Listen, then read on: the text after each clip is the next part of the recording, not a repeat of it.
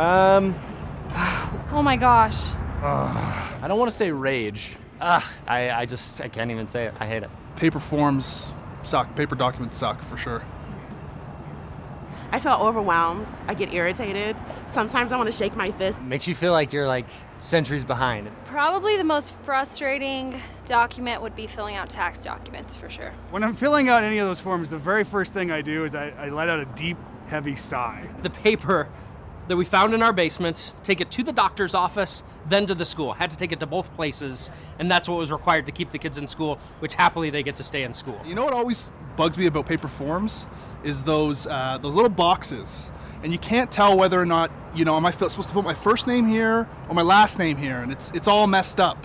The way I feel about paperwork is absolute disdain. I hate it. If I don't want to do paperwork at all, is there an app for that?